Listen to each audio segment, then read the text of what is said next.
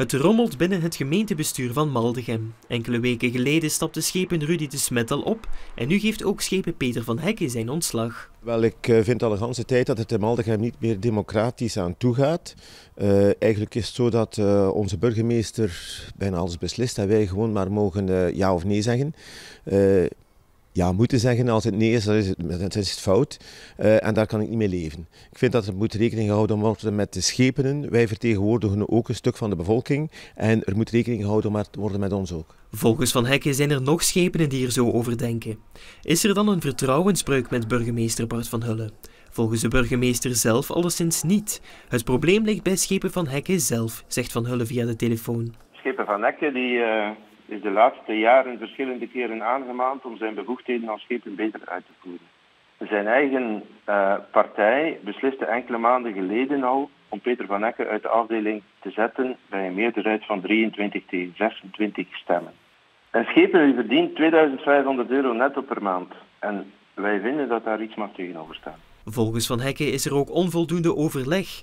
Het Schepencollege is daar het voorbeeld van. In een normale gemeente duurt dat toch wel, er zijn vier punten op de agenda, duurt dat toch wel een uur of vier, vijf, waar dat eigenlijk alles besproken wordt. Dat gebeurt wekelijks. In Maldegem is dat uh, om de veertien dagen een half uurtje.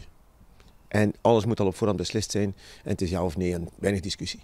Uh, wekelijks zijn er in een schepencollege een honderdtal uh, punten het vergt, denk ik, een tweetal dagen om die punten goed voor te bereiden. Het is niet de bedoeling van een schepencollege om gedurende 7, 8 uur die punten nog eens uh, voor te lezen en iemand achterover te liggen en dan uh, zijn mening over te geven. Ik denk dat het uh, efficiënt is als dit goed voorbereid wordt.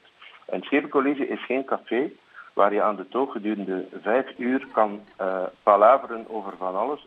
Op 1 januari stopt Van Hekken als schepen, maar hij blijft wel actief in de gemeenteraad. Als hij in de volgende legislatuur opnieuw de kans krijgt om schepen te worden, zal hij daarover nadenken. Maar een meerderheid met Bart van Hulle als burgemeester, dat ziet hij niet meer zitten. Nee. Ik ben een open, overtuigd open VLD'er. Ik ben liberaal en democraat in hart en nieren.